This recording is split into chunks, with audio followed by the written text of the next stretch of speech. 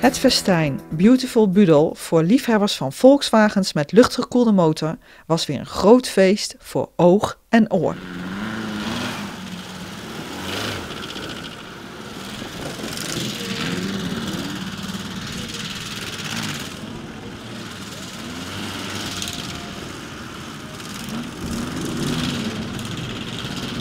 Beautiful Budel trok liefhebbers en trotse eigenaren uit heel Europa naar Budel die graag over een Volkswagen willen vertellen.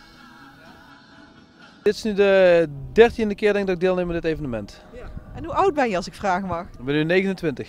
Dan zat de liefde er al heel jong in voor de kever. Al heel jong, ja, heel jong. Heeft hij ook een naam gekregen? Nee, hij heeft geen naam. Ik heb hem nu vanaf 2008, ik heb hem helemaal zelf gebouwd. Hij was uh, van oorsprong eigenlijk wit. Het is eigenlijk een uh, 1200 kever uit 1973. Ik heb hem zelf ombouwd in de jaren 60, mat zwart gemaakt. Ja, mijn eigen smaak, mijn eigen tint eraan gegeven en uh, vanaf 2009 rijd ik ermee rond. Maar als je het niet van je vader of van een familielid hebt gekregen, wat is het dan dat het, zo, dat het jou zo aanspreekt? Ja, het geluid, de vorm van de auto. Uh, een kever herken je altijd. Het is het geluid, het is altijd een bolletje wat langs rijdt. Uh, ja, het, is gewoon het hele, ja. Het trekt je aan of trekt je niet, het is gewoon een, een virus. Ja. Wat, wat heb jij met kevers? Uh, wat niet. Het is inderdaad, wat mag ik ook zeggen, het gevoel, alles. Het geluid, het bekijks, de interesses, de vriendschappen die je opbouwt tijdens dit soort evenementen. Want deze twee marken hebben elkaar hier leren kennen, nee, op, op zo'n evenement hier. Nee, we hebben elkaar leren kennen op Maurik. Daar zagen we elkaars kever en het was gewoon wederzijds interesse. Aangezien ze zoveel op elkaar lijken en zo. Ja, nou komen we vandaag weer elkaar hier tegen en dan drinken we een pilsje. En dan is het uh, gezellig. Ja, rij erin en je bent verkocht. Nou is het uh, Beautiful Budel, maar de rest van het jaar, wat heb je dan nog met kevers aan evenementen of activiteiten? Ja, alles. Uh, andere evenementen, kever winterfestijn. Ik rijd er dagelijks mee, dus ik, ik ben echt continu met mijn kever bezig, ja. ja. En heb je ook een vrouw of heb je je kever? Nee, ik heb ook een vriendin. Ik heb ook een vriendin. Hoe lang is bij jou die liefde al? Uh, van mij sinds dat ik eigenlijk een kleine jongen was en met mijn neefjes samen speelde tot we in auto's nadeden. Was, hij had een deux en ik had een kever. Alleen is de kever bij mij echt kever geworden.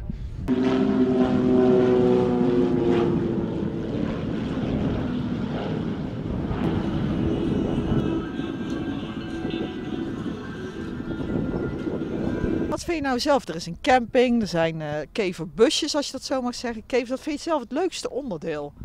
Nou, ik ben zelf ben ik wel altijd wel, uh, het komt dadelijk nog wel naar voren. De rondrit is, is erg leuk, want daar heb ik ook de, de meeste herinneringen aan. Als ik kijk wanneer ik als bezoeker hier kwam, als eerste bezoeker hier in Budel, was ook toevallig op het terrein van de motorbalvereniging. Uh, dat we daar vandaan vertrokken.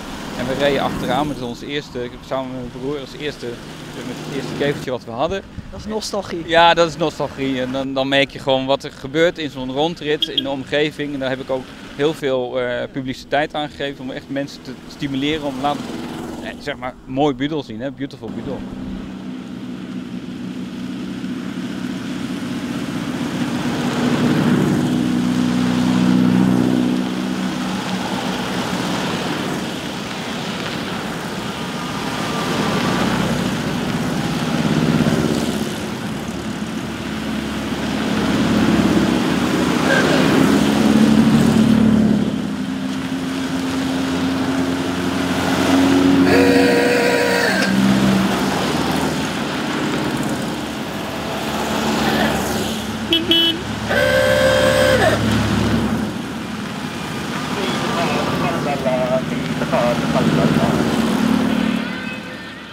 Volgens mij is het omdat het gewoon een hele simpele, duidelijke auto is. Het, Letterlijke Volkswagen. Ja, precies gewoon voor iedereen. En ik merk, ik zeg altijd tegen de collega's die er, zeg maar, dit uh, evenement mede organiseren, zeg ik altijd, wij worden ouder, het publiek, de mensen die hier komen niet. Dat is heel raar. De leeftijd blijft hetzelfde. Dus jonge mensen zijn, komen hier ook? Ja, juist nog heel veel jonge mensen. En dat vind ik ook heel erg leuk om te zien, dat het gewoon doorgaat. De camping op het terrein is een vast ontmoetingspunt voor alle deelnemers van Beautiful Budel. Bert Kamps, jouw bijnaam is Hightower begreep ik. En jij bent een van de enthousiaste leden zo van Beautiful Budel geloof ik. Ja, en je hebt een basisclub van 25 man. We zijn, meestal zijn we met 25 man en dat komt uit uh, nou, de verste uit Finland, uh, Zwitserland, België, Duitsland. En het komt gewoon elk jaar komt er weer lekker bij elkaar. Ja. Gewoon gezellig feesten. Ja. gewoon genieters, laten we zo zeggen. En wat, wat is nou het leuke genieten van Beautiful Budel? Alles mag, niets moet. Ja. Dat is gewoon eh, jezelf zijn en gewoon eh, ja, een lekkere weekend hebben. Gewoon helemaal de knop om. En het geluid van de Volkswagen, van die motor op de achtergrond. Ja, dat hoort er sowieso bij. Zonder kever is er ook geen beurel. En nou is jouw zelfgebouwde caravan, die is vier jaar oud. En dat is ongeveer zo het, het knooppunt van heel de camping, hè? Ja, je, je ziet gewoon wat hier alles gebeurt. Hier, hier wordt gedronken, hier wordt gegeten, hier wordt gefeest. Als het regent zitten we er allemaal onder. Dus het is gewoon een beetje het middelpunt. Heb je nog een leven buiten Volkswagen? Hard werken. Ja, hard werken. Dus vandaar dat we dit ook gewoon nodig hebben om, om te relaxen. Veel plezier. Dankjewel zeg. Ook waren er behendigheidsproeven met bukkies. En ook hier moest weer gesleuteld worden. Het stap op, want dan zit je.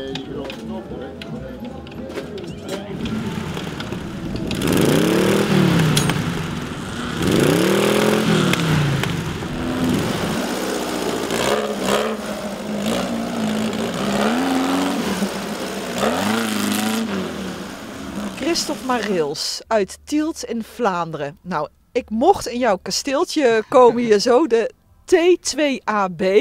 Ja. ik zeg het goed.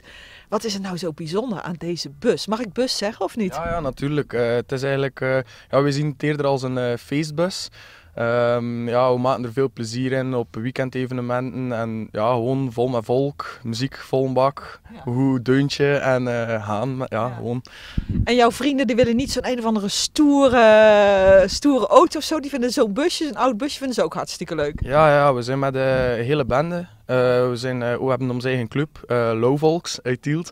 En ehm, ja, we zijn zo met een auto of twintig. En ja, pas op, iedereen heeft ook wel zijn dagelijkse wagen die ze soms wel veranderen, velgen, verlaging. Maar die oldtimers, ja, dat blijft gewoon iets speciaals. Dat is een heel ander milieu.